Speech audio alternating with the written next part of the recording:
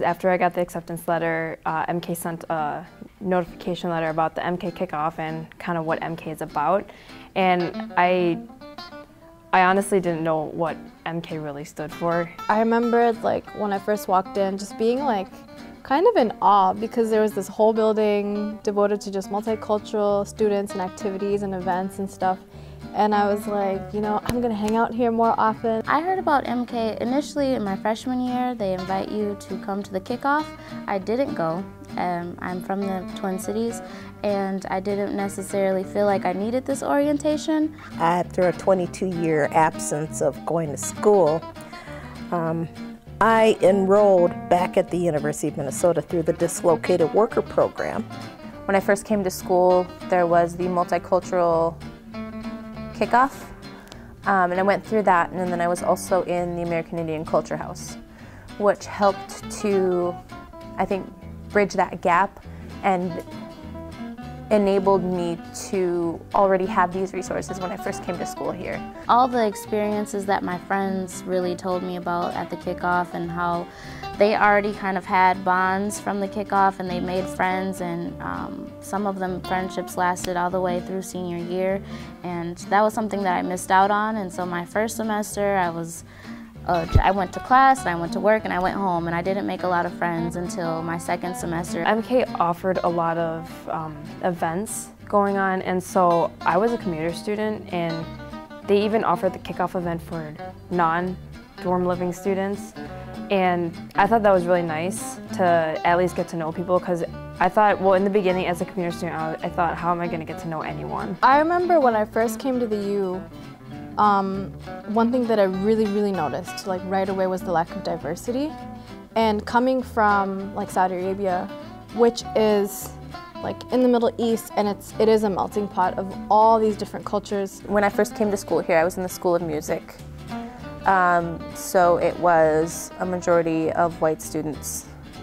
Um, in my group, which was the first year uh, vocal students, there was myself and an African American girl.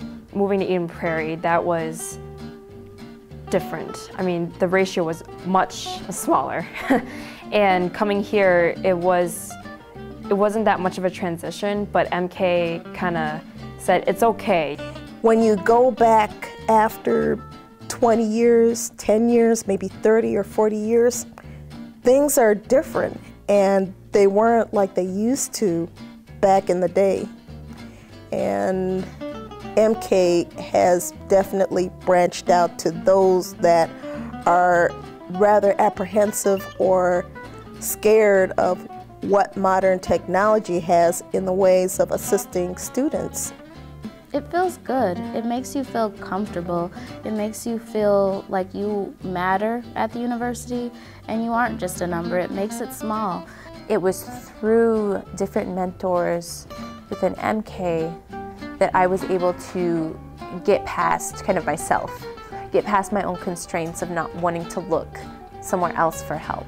Junior year hit and I realized like I was starting to feel really burned out I was starting to feel really frustrated with classmates and professors, um, specifically in the journalism major, because um, there really is no sense of community in the J school for minority students and you know students of color. It helped me to realize kind of where I was lacking in other areas. So in my own leadership roles, how was I kind of micromanaging different things or how was I going to help other people to grow?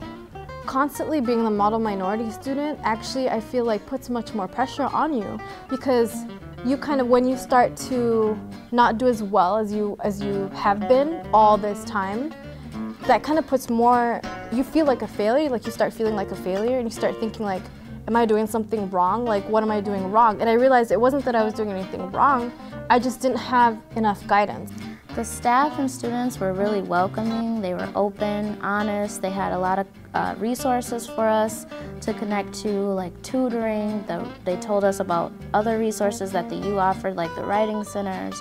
They offered free printing and things like that. They made it made the space inviting in MK so that we would always come there or feel comfortable there. They accept differences, all kinds of differences, just from culture to academia to majors, and that's where I got to know a lot of other people from other majors. When I tell them how old I am, they would say, no way, uh-uh, no, no, you don't look your age. And I tell them, well, I think positive and I think young.